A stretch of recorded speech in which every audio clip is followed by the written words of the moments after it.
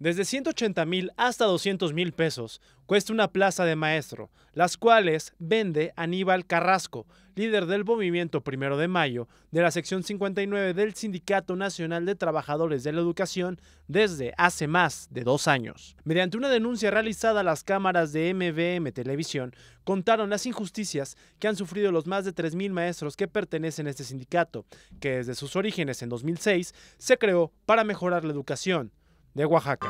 Ahorita entró un nuevo líder, en, primero en la expresión primero de mayo de la 59, este Aníbal Carrasco, ¿no?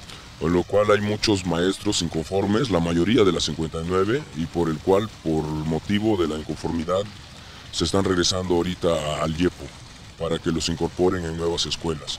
Y así prácticamente la 59 empieza a perder peso, se empieza a desequilibrar y, este, y pierde sus maestros, ya tiene muy pocos maestros, ya de base por lo mismo, ¿no? Porque esta persona, Aníbal Carrasco, este, pues empezó con el cáncer que se había terminado en la 59, ahora ya él empezó a vender plazas. Aníbal Carrasco vende las plazas que le pertenecían a los maestros que llegaron como apoyo, además que denunciaron que tienen a varios familiares suyos como aviadores.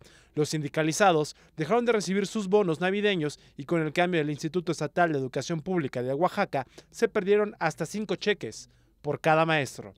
Todas las plazas que están vendiendo les tocaba al personal que entraron a apoyar a las 59 como maestros, los famosos externos. Esos externos trabajaron muchos años con nosotros, se les pagaba mensualmente y ya cuando ver su trabajo y si era profesionista, pues lógicamente que se les iba a entregar este, una plaza. Esas plazas no se les entregaron y a muchos tampoco se les pagaron durante dos años. Este Aníbal esperó, pasaron dos años, dejó que se fuera, no les pagó. Muchos externos se desesperaron y pues se fueron a buscar otros centros de trabajo, ¿verdad? El nuevo YEPO les está brindando de apoyos para que se unan a la nueva reforma educativa.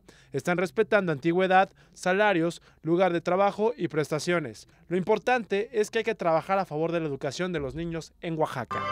Sí, nos dicen que pues ya entró la regularización, nos han recibido muy bien en el YEPO, ahorita ya desaparecieron los sindicatos, ya no existe 22, ya no existe sección 59, ya realmente nosotros ya pasamos a ser ya trabajadores de la Federación de México y ahorita nos están diciendo a todos los que nos estamos presentando al YEPO por las inconformidades de este maestro, pues nos están recibiendo muy bien, con los brazos abiertos y nos están diciendo que nos incorporan a nuevos centros de trabajo para que ya nos regularicemos y empecemos a trabajar en forma.